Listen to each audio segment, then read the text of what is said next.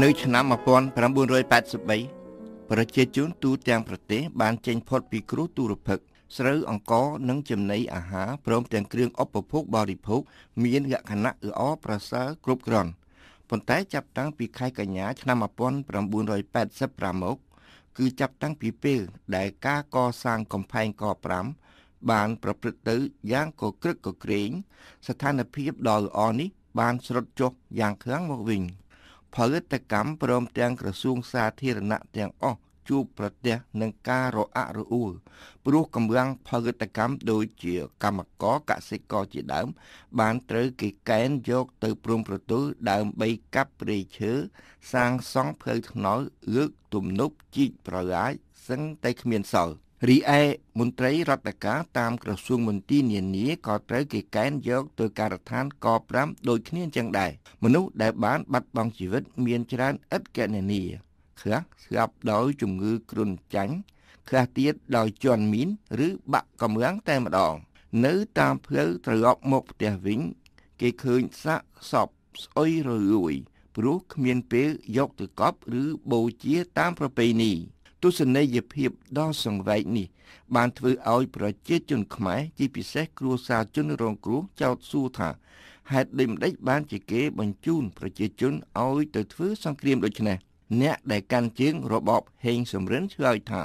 គឺដើម្បីទប់ទល់នឹងខ្មែរក្រហមពួកខាងប៉ុលពតកុំឲ្យពួកនេះត្រឡប់មកធ្វើបាបយើងវិញខ្លះទៀតសួរបន្តមកទៀតថាចុះហេតុដូចម្តេចបានជាពួកប៉ុលពតកាប់សម្រាប់ខ្មែរគ្នាឯងដូចនេះ អ្នកដែលយល់ដឹងបន្តិចបន្តួចអំពីនយោបាយឆ្លើយថា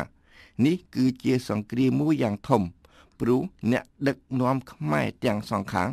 ត្រូវប្រទេសធំធំដែលទាស់គ្នា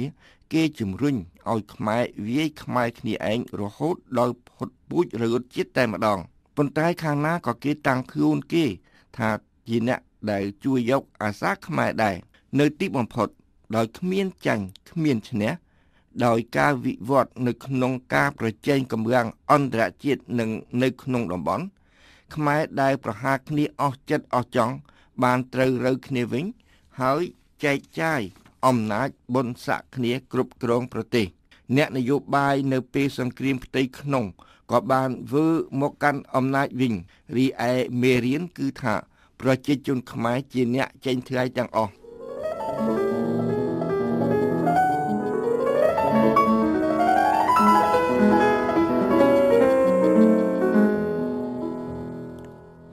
នៅថ្ងៃ31ធ្នូឆ្នាំ1984លោកច័ន្ទស៊ីដែលកាលនោះជានាយករដ្ឋមន្ត្រីនៃរបបសាធារណរដ្ឋប្រជាមានិតខ្មែរទទួលមរណភាពនៅក្នុងមន្ទីរពេទ្យមួយនៅទីក្រុងម៉ូស្គូនៅថ្ងៃ14មករាឆ្នាំ1985លោកហ៊ុនសែនបានត្រូវតែងតាំងជានាយករដ្ឋមន្ត្រីជំនួស លោកហ៊ុនសែនបានឡើងមកកាន់អំណាចនៅពេលមួយដែលប្រទេសកម្ពុជា កំពុងឆ្លងកាត់វិបត្តិមួយយ៉ាងធំ នៅពេលនោះលោកហ៊ុនសែនដែលមានមុខនាទី ជារដ្ឋមន្ត្រីការបរទេសមានការរីរែកបន្តិចដែរព្រោះលោកពុំចង់បោះបង់ចោលកិច្ចការរបស់លោកនៅក្រសួងការបរទេសទេ គេក៏សុកចិត្តប្រគល់តំណែងទាំងពីរនេះទៅឲ្យលោកតែម្ដងទៅ នៅពេលដែលរដ្ឋសភាប្រកាសតែងតាំងលោកជានាយករដ្ឋមន្ត្រីជាផ្លូវការលោកហ៊ុនសែនបានឡើងមកកាន់វេទិកាហើយថ្លែងថា លោកសូមអរគុណចំពោះការទុកចិត្តនេះក៏ប៉ុន្តែលោកក៏ដឹងដែរថា គេបានប្រគល់មកឲ្យលោក នៅអ្វីអ្វីដែលអាចនឹងនាំមកឲ្យលោកនៅទំងន់មួយ ដ៏ធំមហិមា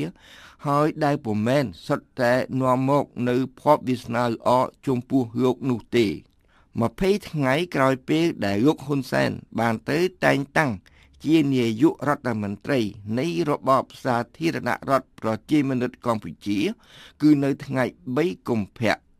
រដ្ឋាភិបាលខ្មែរមួយទៀតនៅក្នុងព្រៃគឺរដ្ឋាភិបាលចម្រុះ JCKD បានបើកអង្គប្រជុំមួយនៅភ្នំម៉ាឡៃនៅថ្ងៃ11កុម្ភៈរដ្ឋាភិបាលនេះបានចូលរួមប្រជុំនៅក្នុងអង្គប្រជុំមួយនៃបណ្ដាប្រទេសសមាជិកសមាគមអាស៊ាន នៅទីក្រុងបាងកកប៉ុន្តែពីថ្ងៃបន្ទាប់មក នៅកម្ពុជាឯនោះវិញកងទ័ពវៀតណាមចំនួនប្រមាណ8000នាក់